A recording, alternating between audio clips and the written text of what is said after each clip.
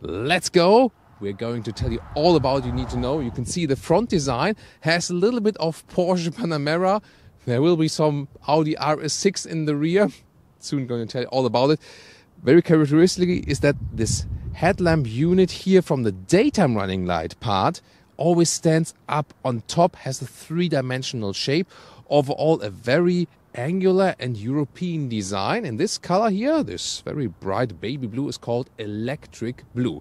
The main headlamp unit here is in the lower part. Turning indicators in the front, you can see they replaced the daytime running light. So very spectacular feature. Has something like animal-alike, you know, like a tiger, lion, or claw something design. What do you think? Ladies and gentlemen, today's big prize question is about is there a frunk or not?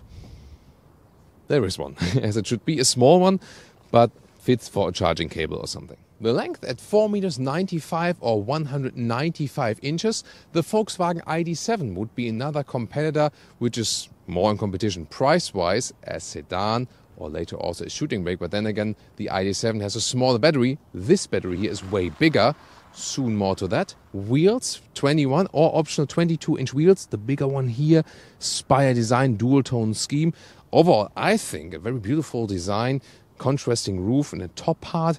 And this shooting brake form also has a very good CD value still, 0.23, so we can expect a great wind efficiency. We'll also do a driving and range efficiency test today. Rear design, we can see somewhat of a mix between a sedan and a wagon and estate. So a very impressive piece here, I think, with standing out three-dimensional tail lamps. You either get a rear-wheel drive version as entry or an all-wheel drive then with two electric motors one per axle. The acceleration figure is then either around 7 seconds for the entry version or under 4 seconds for the all-wheel drive version. Top speed 200 kilometers an hour or 125 miles an hour. Light signature also here with this really modern design, individual element that looks quite cool actually. Turning indicators at the rear, very well visible here, wide enough and also with this cascading effect. So battery size is 100 kilowatt hours, around a little bit buffer in there and a realistic real world range somewhat 500 kilometers or 320 miles. Can be better in summertime, can be maybe worse in wintertime or when you speed it up really high speed. Recharging 22 kilowatt A AC is standard. 200 kilowatt DC charging, the quick charging, and that gives you then 10 to 80% state of charge in around 30 minutes. They offer smartphone or keycard access, but I prefer to have a real key fob. It's not a classic one, more this squircle design, I would say, or shape. And then you can see here the door handles, flush design, go in and out. But they do give you some haptic feedback then here. We know them from the Range Rover Sport for Range Rover, for example. Then door closing sound is considering it's a frameless door, actually still quite decent. Then inside, high grade leather red here in the blue beige scheme. I think it's a beautiful color combination indeed. Door handles, Audi-esque I would say, but really good from the build quality. Galvanized buttons here for the inside window levers, so it's a really high build quality. Yamaha sound system, steering wheel in a sporty design, and both the steering and the seats they have the philosophy to go animal free and sustainable as for the materials, as it should be in 2023 for not only electric vehicles actually. Just here in this very early production version, the steering wheel is still animal skin, but they are changing that. Seating comfort is really good, good shoulder support, and the microfiber surface here on the inside is really soft and nice, very high quality feeling. If you want a little bit more subtle color, there's also a black microfiber seat available and also this color scheme, so you don't have to go for that one. But I think, to me, it's a great choice color-wise, indeed. 189 or 6 foot 2, and that leaves still plenty of headroom below this fixed glass roof. I'm more a fan of roof you can actually open or then just, you know, a closed roof because, yeah, they all have this, you know, heat protection, but it's still will get somewhat hotter. Clearly, this is inspired by Tesla, this 15.4 inch screen. NIO has already done that, that they picked a, like almost the same layout. Now also Zeekr does it.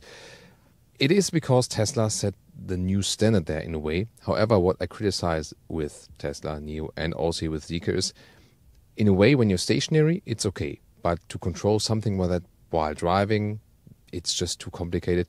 When they would use the large screen and then make everything larger, then it would be easier. The temperature control always in the lower part here.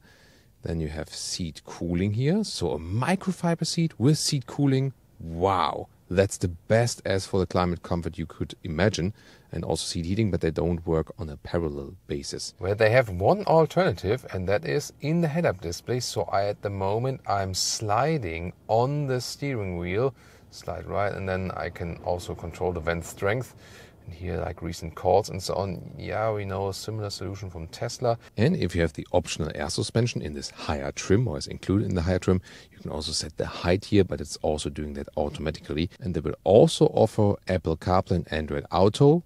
Yeah, you won't get that one in the Tesla. However, we cannot show that to you yet. The software status is not up to date yet. We can just take their word for that at this moment and then you can have some more apps. For example, you also have the camera here internally where you can take selfies. Yeah, in China that's that's a big thing. I'm not sure if European or American customers would actually do that. Um, yeah, and then we can also switch it around, like on the iPhone, and uh, take a view to the front for some landscape shots. You have some hotkeys in the lower area here, for example, also to open the trunk from the inside. And then this one here on the right is for the glove box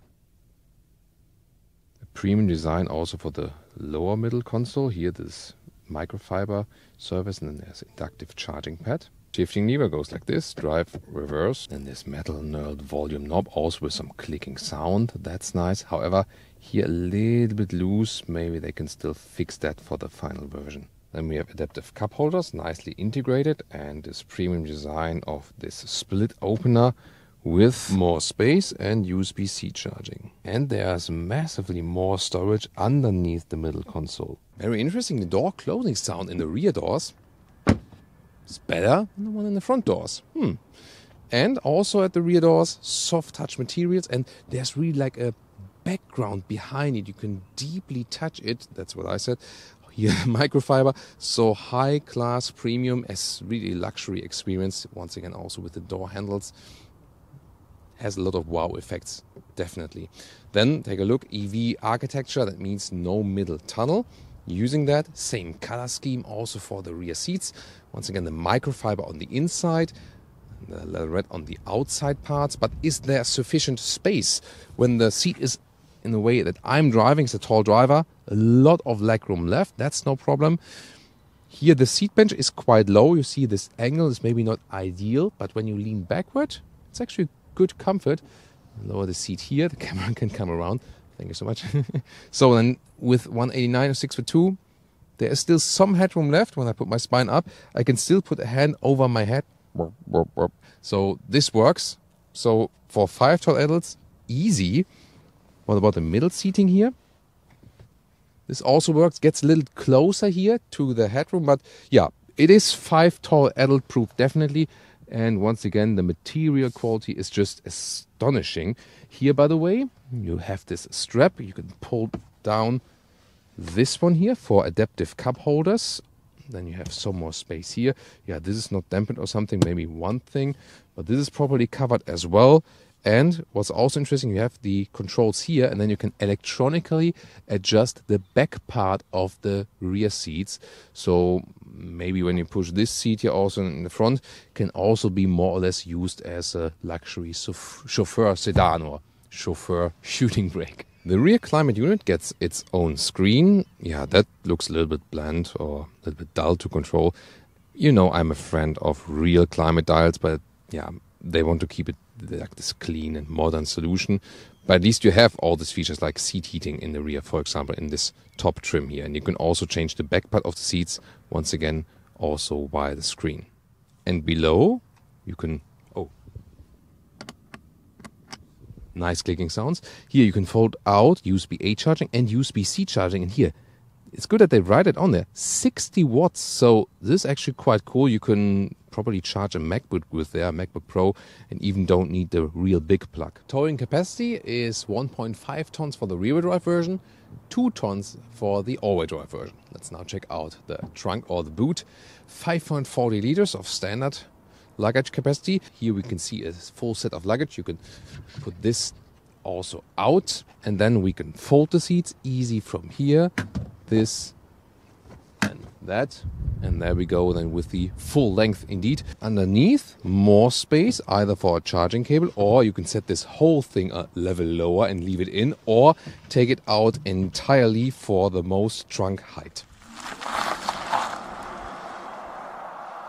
Acceleration 0 to 70. Plop, that's it. Here now at about 70 kilometers an hour, so like 40 miles an hour.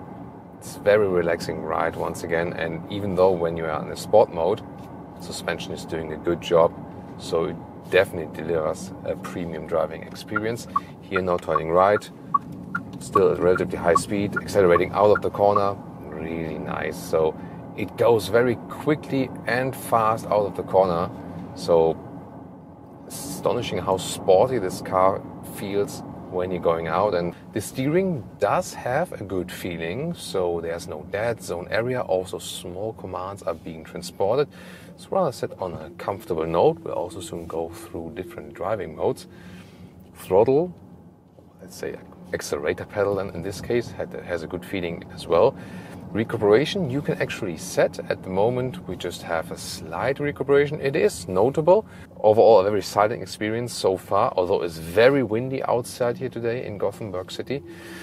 Um, no, not Gotham, Gothenburg in Sweden. But the city driving experience so far is very likable and it indeed gives you a premium feeling. There's no rattling, there's no annoying noises somewhere. And 19 kilowatt hours on 100 kilometers that's more than 3 miles per kilowatt hour. that means more than 500 kilometers real world range, clearly more than 300 miles.